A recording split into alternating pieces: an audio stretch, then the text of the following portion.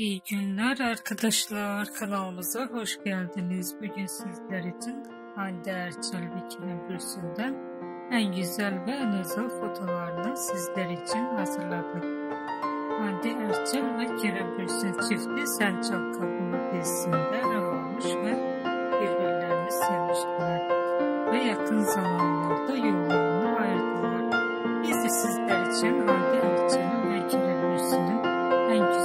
her yeni sizler için hazırladık.